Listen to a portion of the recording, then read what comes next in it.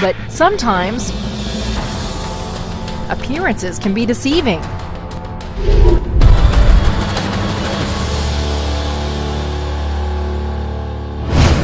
December 18th, 2012.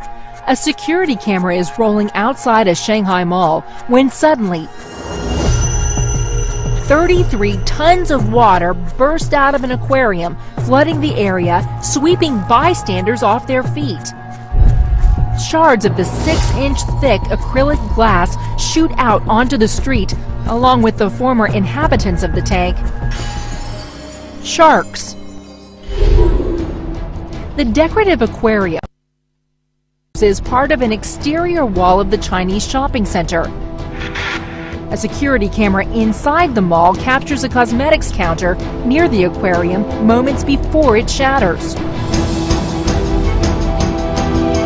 When the tank ruptures, the cosmetics counter comes crashing down. The heavy display collapses on top of a saleswoman below. A crowd rushes to pull the trapped woman from the rubble. Fifteen people are injured in the accident, and most are treated for minor cuts and bruises. But one male customer suffers a broken leg. Three lemon sharks and many small fish and turtles are killed.